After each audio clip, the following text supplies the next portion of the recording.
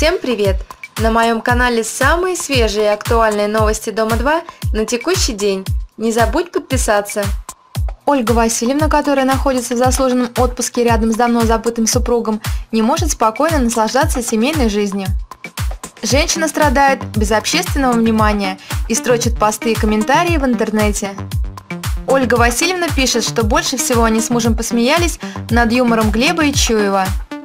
Хочу всем сказать, с мужем узелочки на смертный одр еще не собираем. Как придет мое время, так и уйду с проекта, а пока, не покладая рук, буду трудиться на проекте и приносить пользу. Вот мои ребрышки зарастут, и я еще снова станцую и всех повеселю, а то будете без меня грустить. В общем, как всегда, бабулька в своем репертуаре. Вчера в городских прошли съемки ток-шоу. Активно обсуждали Илью Григоренко и Сашу Гозиас. Разобраться без стакана в их бредовых отношениях просто нереально. А в отношениях Эллы Сухановой и Игоря Трегубенко опять разлад. Игорь снова отказывается жениться на Сухановой.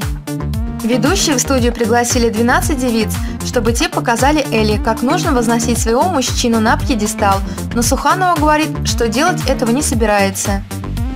Чувства к Игорю угасли, ровно как и желание бороться за эти отношения. Камила Коробейникова мечется между Рудневым и Григоренко.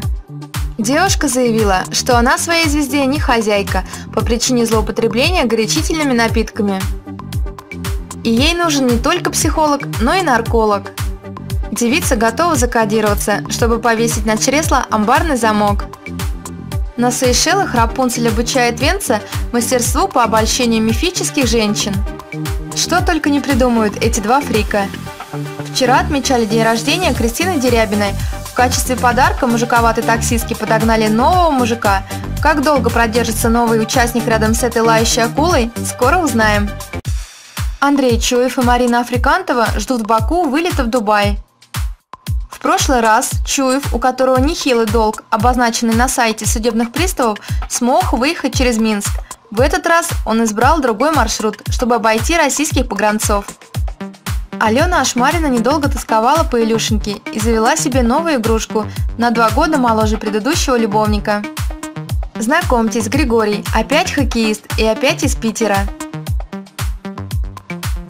Пара Светланы Кальметовой и Грека Николаса вызывала сомнения у зрителей с самого начала. Уж как-то все тихо и ладненько получалось.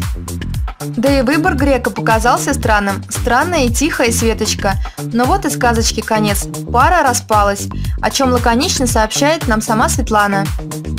Девушка сообщила, тяжело доверять людям, особенно таким, как мой бывший. Андрей Чуев поделился разочарованием по поводу ограничений, введенных организаторами проекта на работу бара на Сейшелах. Источники доходов, на которые рассчитывал человек года, оказались под запретом. Андрей признался, что он предполагал привлечь англоговорящую публику. Но ведущие предупредили о запрете на приглашение иностранцев в бар, запретили и организовывать туры. Однако Андрей намекнул, что у него появились новые идеи по развитию бара и привлечению клиентов. Какие именно, он держит в секрете. На этом все. Спасибо за просмотр.